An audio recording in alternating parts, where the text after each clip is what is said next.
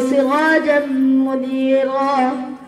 فقد قال الله تعالى في كلامه المجيد وفرقانه الحميد.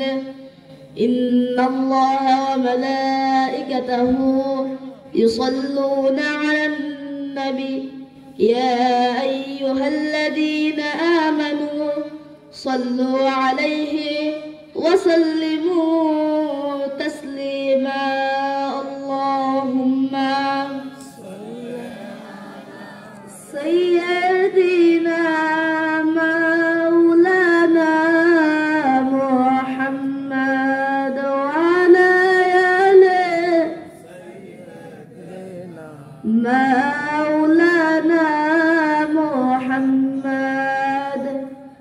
شجر میں شجر میں تیری رنگ ابو آتی ہے۔ جدھر ہی دیکھتا ہوں، ادھر ہی تو ہی تو ہے۔ اللہم محبت۔ سید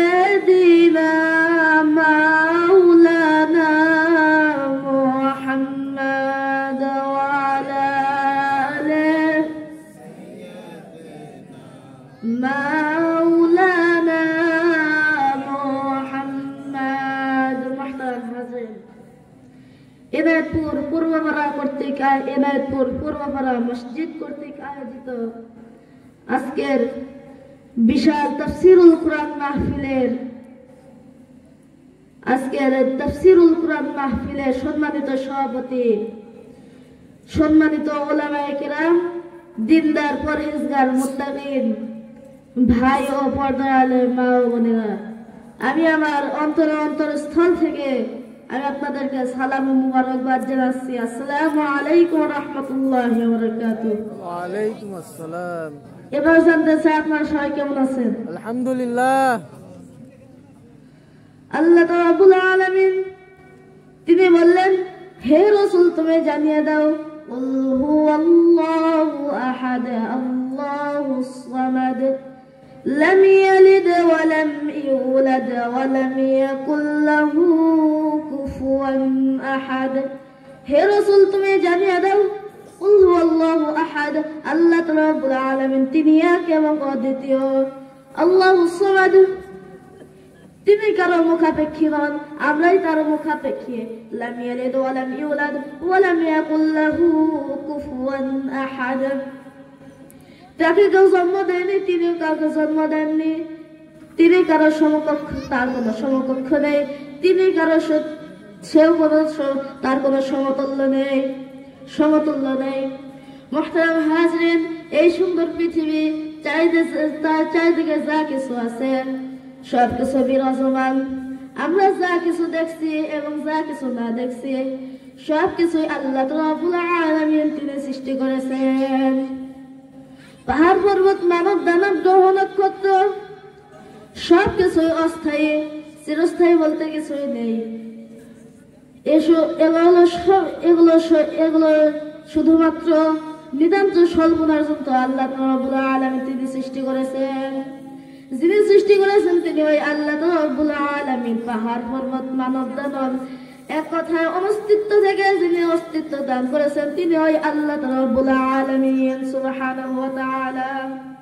এজন্য সূরাতুল মুমিনুনের 62 নম্বর আয়াতের ভিতরে জানলেন, যালিকুমুল্লাহু রাব্বুকুম খালিকু কুল্লি শাইইন, লা ইলাহা ইল্লা হুয়া আন্না ইউফাকুন।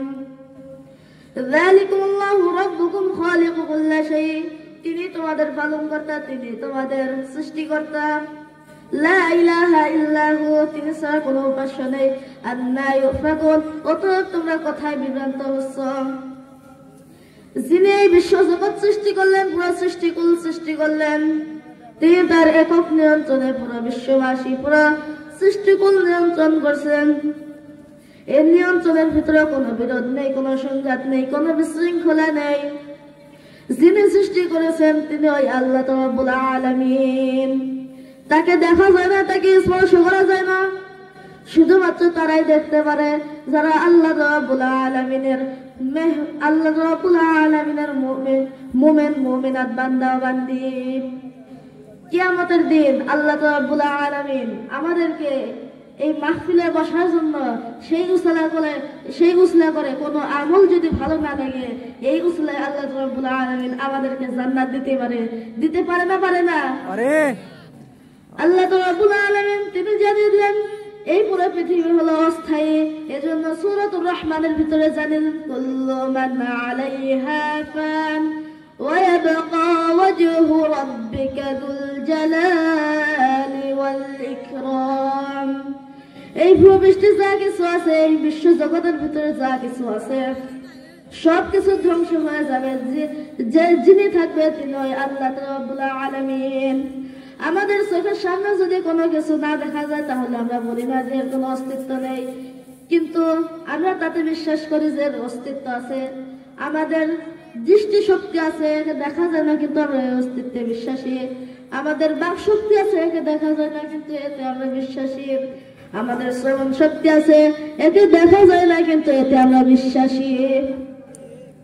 তেমনি ভাবে আল্লাহ আলামিন আমাদের শরীরের ভিতরে রুহ সেট করে দিয়েছেন যার মাধ্যমে আমরা হাঁটাচলা করি, আমরা কথা বলি, আমরা কাজকর্ম করি, আমরা কাজকর্ম করি।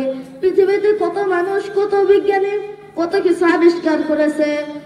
শরীরে সব কিছু দেখা যায়, শরীরের ভিতরে লিভার দেখা যায়, কিডনি দেখা যায়, লিভার দেখা যায়, কিডনি দেখা যায়, হৃৎপিণ্ড দেখা যায় সব কিছু দেখা যায়।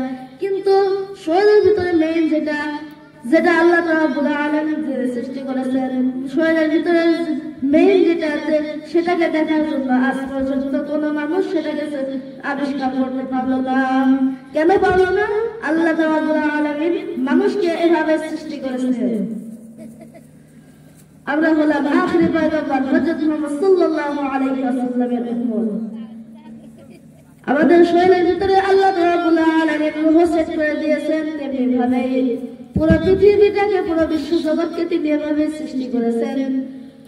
এই পৃথিবীর হলো, আসমান হলো মাথা, জমিন হলো পা, ভিতরে যা কিছু আছে, সবকিছুই অঙ্গ প্রত্যঙ্গ। যে মহাশক্তি একে টেকিয়ে রেখেছে, তিনি ওই আল্লাহ আলামিন।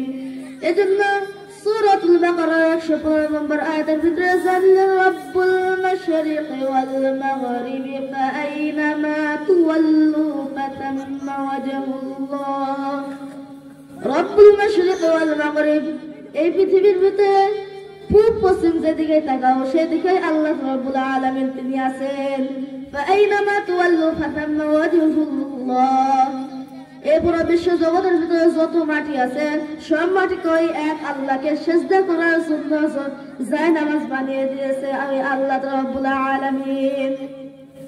আমাদের অনেক লোক আছে, অনেক লোক আছে, তারা বলে, আল্লাহ রাব্বুল আলামিন, তিনি নেই এই পৃথিবী। তার নিজ নিজ গতিতে চলছে। এটা প্রকৃতির লীলা খেলা কিন্তু আসলে তা নয়।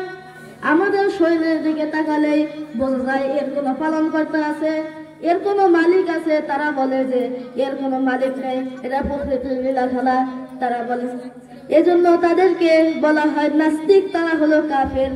আরবি ভাষায় তাদেরকে বলা হয় মন্দির অর্থ জড়বাদী। তারা যখন মারা যায়, তাদের জানাজা হয় না, তাদের কাফন দাফন হয় না। তাদের শরীরটাকে মনোমত্তক দান করে যায়।